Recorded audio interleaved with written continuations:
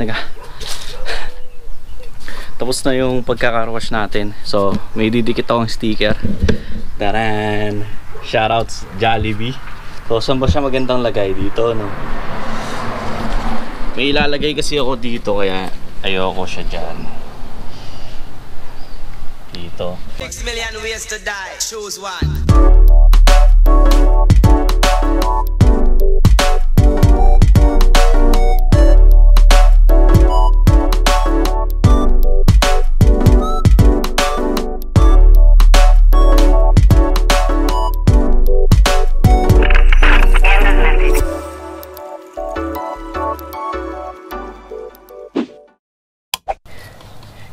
Wash na bike natin, mukhang natamad na ako mag-car wash. ah. So, dito ko lalagay si Jollibee. Yes, sir. Okay guys, tapos na. So, hindi ganong perfect yung linis natin, pero whatever man. Madudumi at madudumihan din naman. Wala akong garahe. So, anyways, yan, nakita nyo. Yun o, yung kinabit kong sticker. Yun o, si Jollibee o. Yung baka naman, Jollibee, no? Jollibee, baka naman. Baka naman. so, ayan, shoutouts across trek, culture. Yun o. Ba, hindi kita. Yan. So, mat, kinuha ko. So, pag naarawan yan, lalo yan, ano, um, didikit, no? So, ngayon, may mga konting bubbles, pero pag nag-init yan, okay na. So, actually talaga, kung ba't ko nilinis to, para lang ilagay muna yung sticker. So, talagang nabibiyak-biyak pa siya, no? So, ito hindi. So, may nagtanong sa akin na ano, ah i-featured ko daw ay ano ko daw to i-vlog ko daw tong ah, cross trek natin ah, na Subaru. Ah, kung alam nyo dati ah anong tawag doon? So yan guys, so trinade in ko to sa WRX ko. Yan. So dati nakita nyo na yung WRX ko, yung stance no, lowered, may coilovers, may lahat kompleto no nakakamiss. Pero dahil off-road naman or family car naman ang kinuha natin ngayon no Ah, may nagsasabi sa akin i-vlog ko daw to. So tingin ko so tingin ko ito muna yung vlog natin ngayong araw na to no. Next time na pala yung no bukas na lang yung ano yung sa mountain bike no. So ngayon ah dahil ginabi tayo sa paglinis nito ngayon ito na lang. Tutuloy ko na yung nag-request sa akin na i-vlog ko tong trinade in kong cross trek no? Sayang yung sasakyan ko dati man nakakamiss pero someday no sana makabili ulit. Pero na in love din ako dito eh. So anyways ayan papayat ako sa inyo na mabilisan lang no? Ito so so ayan guys uh, 2000 ano siya? Uh, 2020 Subaru Crosstrek. Yan. So syempre yung license plate ko sa sa anong tawag doon sa WRX ko nilagay ko dyan.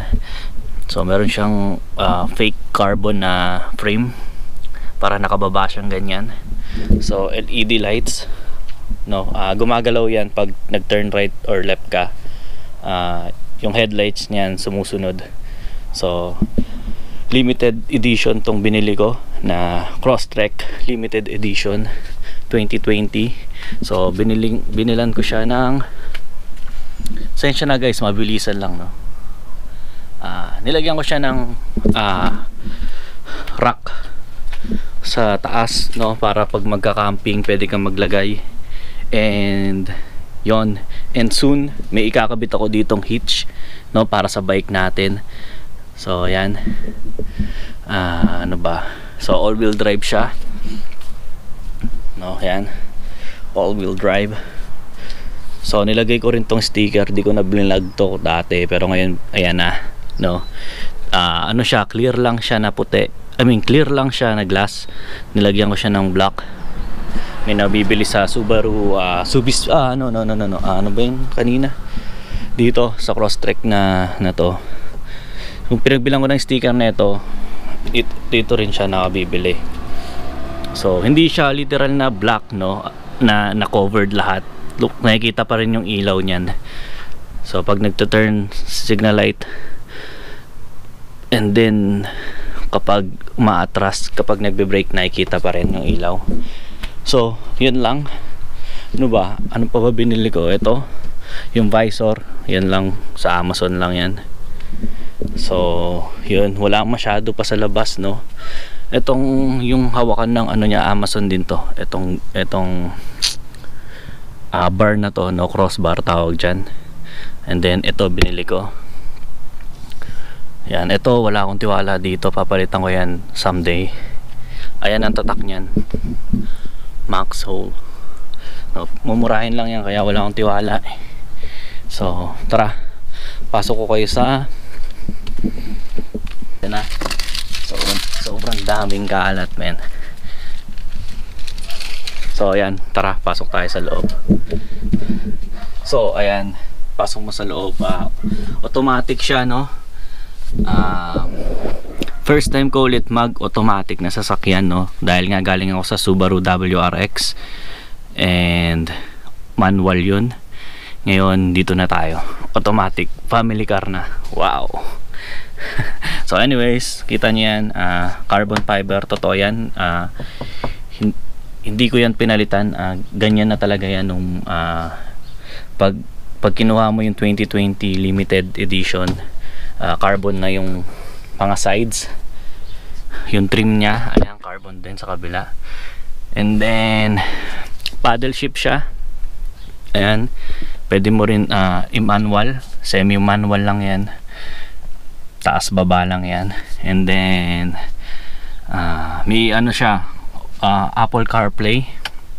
No, ah 7 inch ata to yung yung ano niya, monitor niya.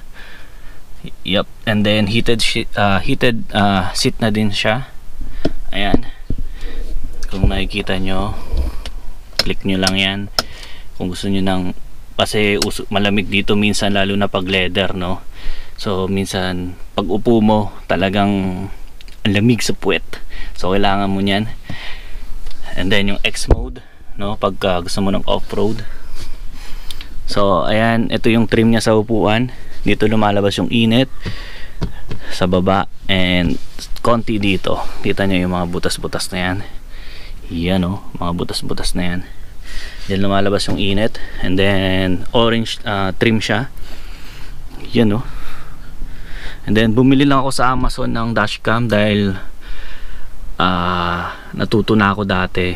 No, yung kailangan mo ng ano, just in case lang na so wag naman no pero kung ma-aksidente or something just in case meron kanyan may camera din yan dito sa harap so Uber Uber dashcam tawag yan So nakikita din yung mukha mo, yung loob ng sasakyan kapag nagda-drive, no.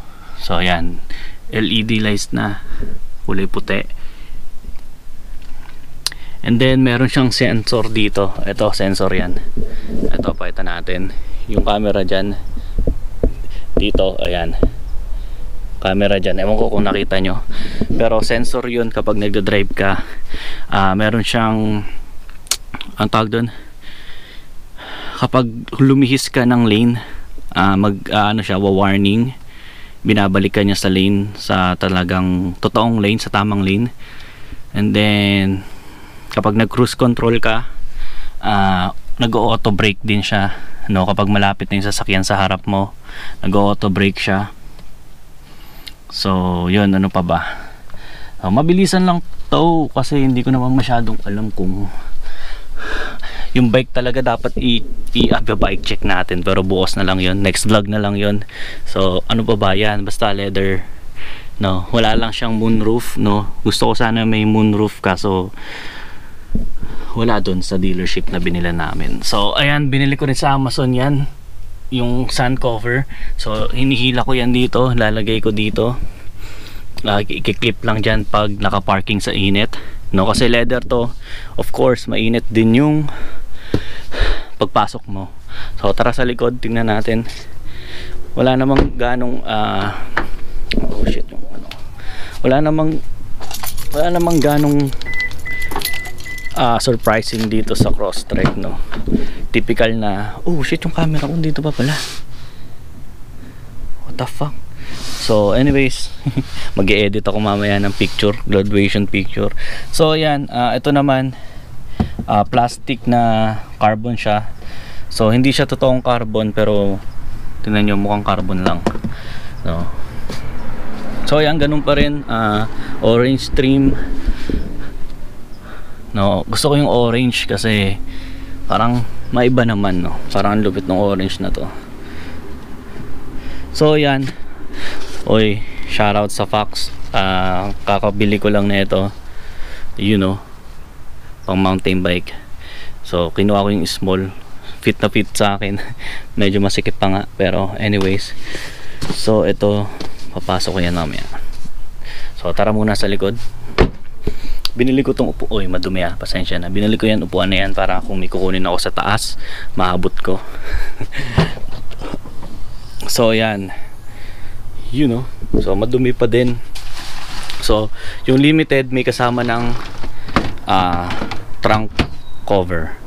So nakaganyan yan para hindi mainitan or hindi makita kung ano man yung nasa loob ng uh, trunk mo no? Para hindi manakaw or something whatever. So ayan bumili din ako neto. So para hindi gumalaw-galaw kung ano man ilalagay ko ditong stuff. No, kung ano-ano man. Tapos ito bumili ako din ng ano bang tawag dito? Organizer ng trunk. So ayan kita nyo medyo magulo nga lang ngayon. So ito meron siyang cooler na maliit. So dito may cooler siya Ayan, basta may cooler siyang ganyan. So, wala. Yan lang naman. Ganto ko na. Wala namang ganong ka-surprise surprising. You know. So, yan guys. Um, iba-vlog ko pagdating nung pagdating nung bike rack natin. Uh, iaano ko rin siya. Finally. Whew, finally. Tapos din, yes sir. So tara. Lagay ko na siya sa sasakyan. Alright. Eh, araw, init na. Okay, siya atin.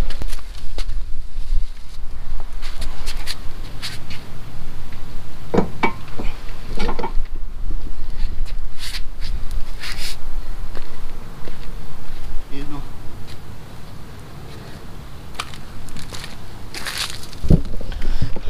ayos na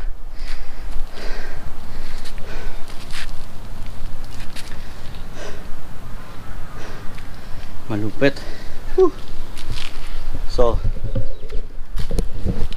so yan guys doon natatapusin yung vlog ah, mabilisan lang no check natin yan pag nilagay ko na yung bike next time sa next vlog mahaba na to so please like, share, and subscribe ako nga po pala si Choose One Music Films and Photography Whew. You already know. Peace.